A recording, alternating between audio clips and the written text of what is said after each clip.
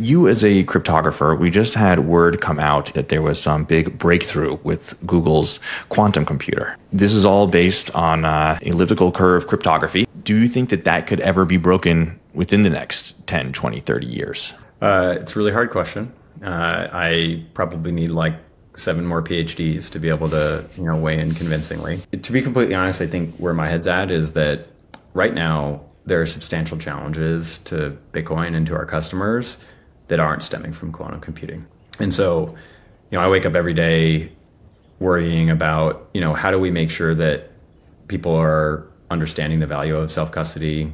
How do we make sure that they're able to take control in an easy way that leaves them in an incredibly safe state? And, you know, at some point, I, I think we'll all need to take quantum threats seriously. I definitely think from a protocol standpoint, like thinking about it earlier is probably a good idea. But from a product standpoint, I think, you know, BitKey and, and really everybody building on Bitcoin out there has a whole lot of things that need to be higher in the list.